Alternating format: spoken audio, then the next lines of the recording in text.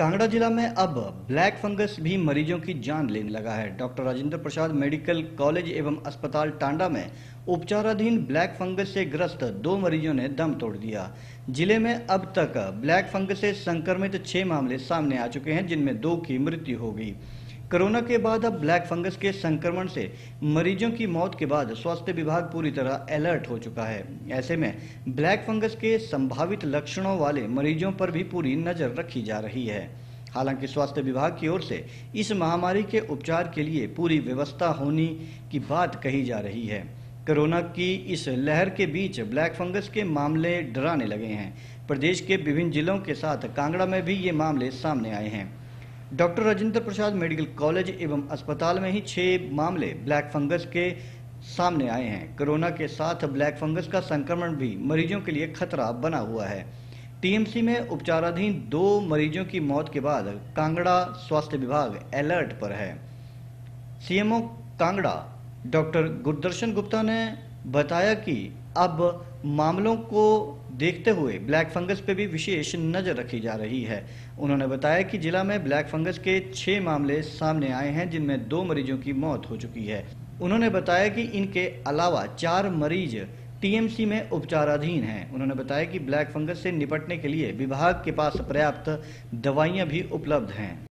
Black fungus या की हिमाचल सरकार ने इसको नोटिफाइबल डिज़ीज़ डिक्लेयर किया है। अभी तक जिला कांगड़ा में छः मामले जो है, म्यूकोरमाइकोसिस के रिपोर्ट हुए।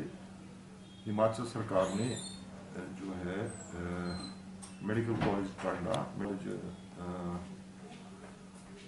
शिमला और नीरचौक मेडिकल कॉलेज को इसके लिए चिन्हित किया है इलाज के लिए। ये छः छः के छः मामले जो थे, ये टांडा में डायग्नोज किए गए। उसमें से चार उपचाराधीन है और दुर्भाग्यवश दो मरीजों को अपनी जान से हाथ खुआना पड़ा है अभी तक। जहाँ तक तैयारियों की बात है, जो इसकी में प्रयोग में लाई जानी दवाइयाँ दवाई है एम्प्रोडारिसन भी, वो पर्याप्त मात्रा में टांडा मेडिकल कॉलेज में उपलब्ध है। इन रोगियों को कई बार सर्जरी की भी आवश्यकता होती है।